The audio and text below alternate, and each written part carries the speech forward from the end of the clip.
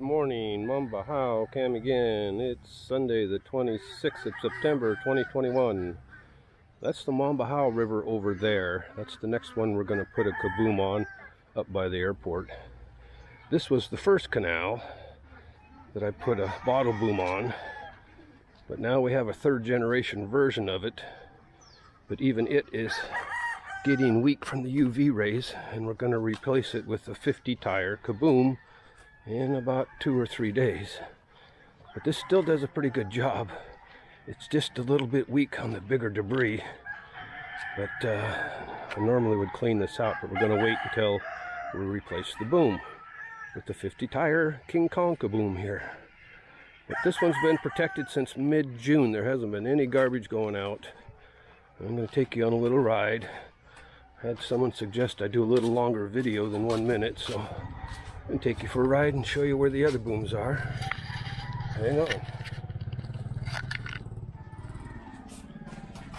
Down the road a little, we got the Lady Kaboom, which was the third one that we installed, the third canal.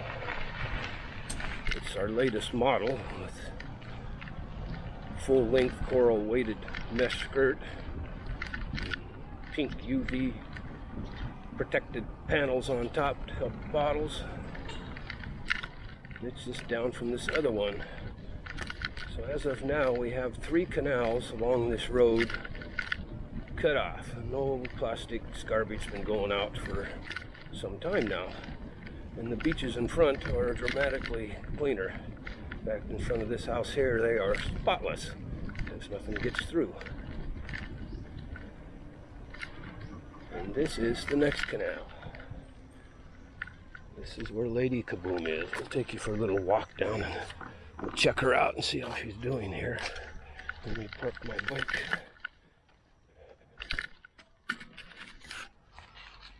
This comes from right downtown central Mambajao Market. And the clean out on this one was nasty. There's a lot of algae and stuff on it, but fairly low tide now. But this one does a very good job. I don't know where these cans and bottles are coming from. They can't throw them that far from the street, so and they don't grow legs, but well, this one could use cleaned out. But the nice thing about the Kaboom, it's very strong. Nothing's going to push by. I can leave this another week. Oh, it might go back up into town and then come back again. But it always comes back. So this is our second and my favorite one because it's the most advanced. I'm going to take you down to the very first tire kaboom that we made and installed on the next canal down. It really don't have a name. Probably should have. It's just the original. It only has a weighted skirt on the capture area and on the wall side. It could use a full length weighted skirt. And we might end up dragging it down to the beach because it's too heavy once it's in the water. Drag it down to the beach to install the panels and put a full length skirt on it. This is the only beach right here where we go in where the jeepneys park that actually has any garbage on it, but it's not from these canals, it's from the picnickers, because in this town the trash cans are not allowed. We're working on that one. This is the little peninsula here where I'd like to put the single stream recycling cage here, right on the corner, right in front of Lagoon Bay Village here. It has no place to put the garbage, it just sits out where the dogs get it it gets picked up. So this is the next canal. We did a group cleanup on this last Sunday, Sunday before last.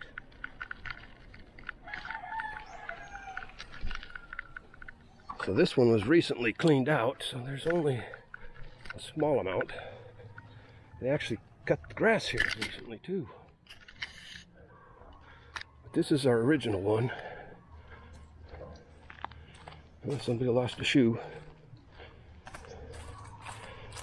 But we cleaned up the garbage on the other side last Sunday. This was all cleaned out too, but as you can see, there's no shortage of customers here. Let's go down and take a look at the beach. I haven't even been down to the beach for a while.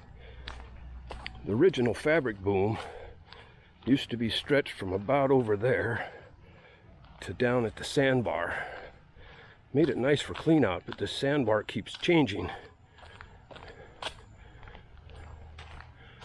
And I see a little bit on the beach. I don't know where that's coming from. You have to realize we got, but in general, I don't see a lot of plastic bottles like there was before. And there's a bunch of fishermen and stuff that leave their garbage laying around, so. Well, I don't know how long we're going here. What is it? I'm afraid this is probably going to take all day to load. I have to put it on YouTube because it's too file extensive to load it on Facebook directly, so it'll probably take half a day. But you can wait. We need to get this a little more for the wire there. There you go. Yeah. One of these days, hopefully education will catch up and I won't be having to scoop this out because I've been living on this canal since last June, July now. I'm down here every day for the last six months darn near. Well, long as well, I'll take you down to the next one. I planned on putting, this one would have had a kaboom coming up. In fact, it's sitting on the floor in the shop right now, but it's going to be made into the King Kaboom to replace that blue fabric one that's starting to fail from UV. So, But once we get that replaced, I want to do the Mambajao River one by the airport.